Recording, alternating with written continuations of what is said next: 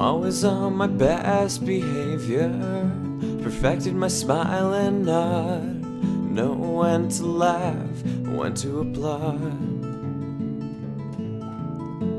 I am nothing but potential. Could show a waiting world a gesture of indifference, or fists so tightly curled to wake up to wonder what's in store.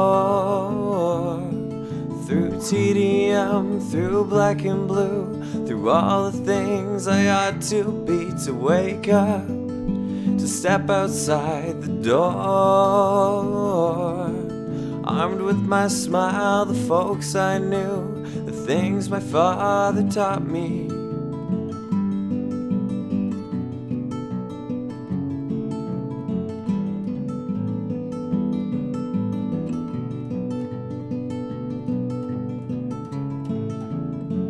Join the ranks of hourly wagers I get my big degree.